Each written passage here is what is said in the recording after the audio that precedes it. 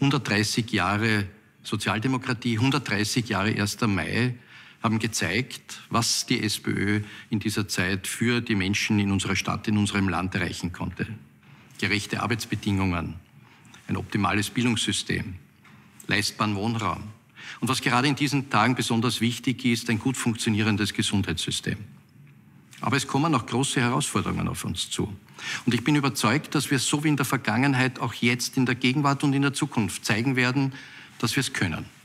Dass wir gemeinsam mit den Menschen in unserer Stadt auch diese Herausforderungen meistern und diese Stadt auch in Zukunft zur lebenswertesten Stadt weltweit machen. Wir werden niemanden zurücklassen.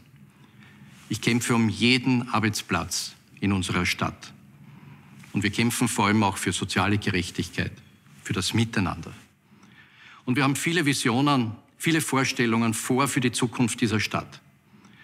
Und ich möchte Sie einladen, gemeinsam mit uns diesen Weg zu gehen.